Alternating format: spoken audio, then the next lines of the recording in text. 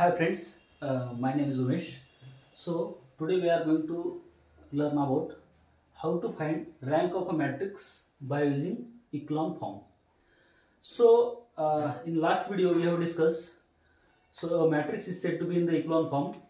It should satisfy the three properties.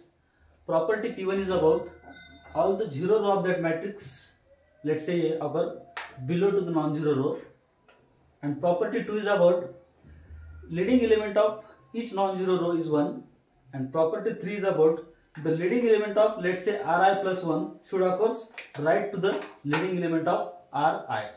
So I will explain these properties with the help of this example. First of all we have to convert this matrix into the echelon form. After that the rank of the matrix is equal to the number of non-zero row in the echelon form of that matrix.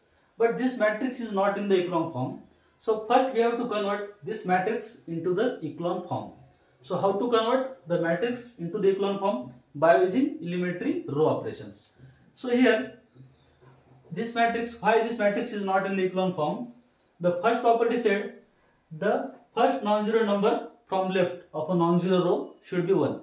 Here this is a non-zero row but this is 5 is the first non-zero entry from left that is 5.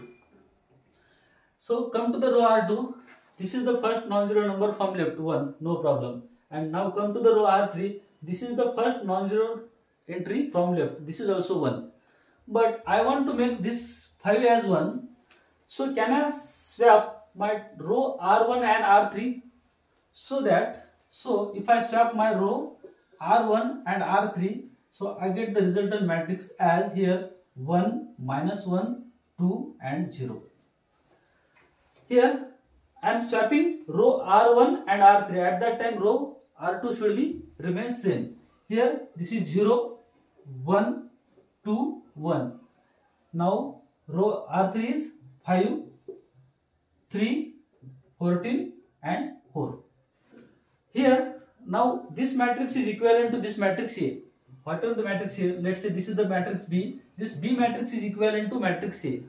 Now can I apply now I want to make this 5 as 0 so after so after making the leading element of R1 is 0 in the below the all below the this leading element in the same column try to make all the element in the same column 0 0 so this is the first row uh, this is the first row first column entry.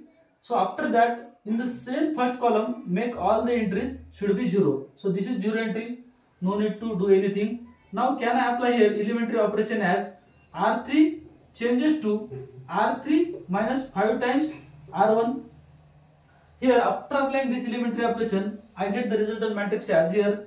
1 minus 1 2 0 second row as it is 0 1 2 1 third row 5 minus 5 times 1 0 3 minus minus 5 here is 8 minus uh, 14 minus 10 14 minus 10 here is 4 4 minus 0 times 5 that is simply 4 now here this is the first leading element and in the same column all the entries are 0 now come to the second leading element of my row R2.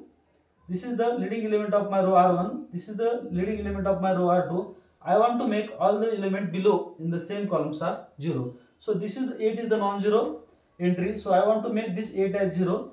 So can I apply my elementary operation as R3 changes to R3 minus 8 times R2.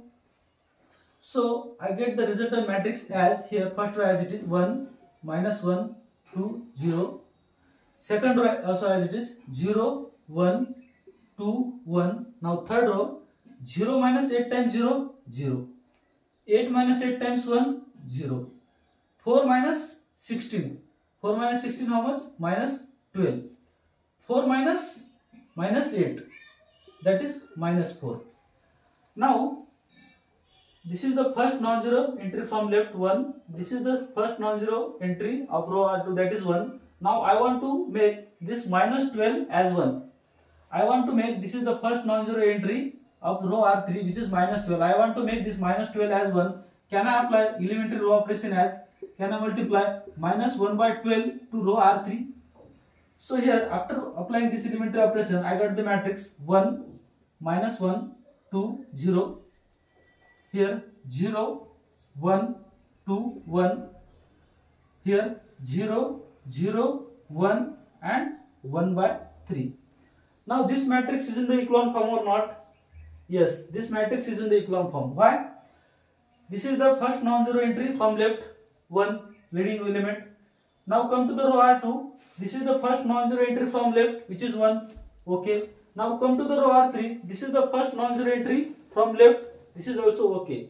Now come to the property 3 he said the leading element of R2 occurs right to the leading element of R1. Okay. The leading element of R3 occurs right to the leading element of R2.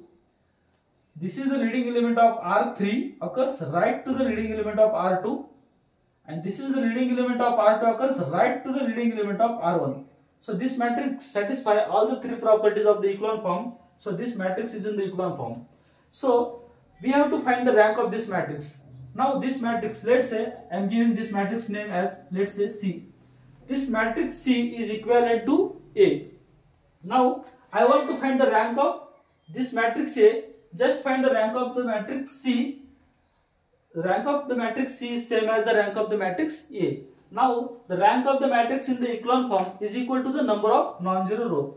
Here, the number of non-zero row in this matrix is 3. So, the rank of this matrix is, so the rank of this matrix is equal to 3. Why? The number of non-zero row. This is the non-zero row, this is the non-zero row and this is the non-zero row. So, the rank of this matrix is equal to 3. Thank you.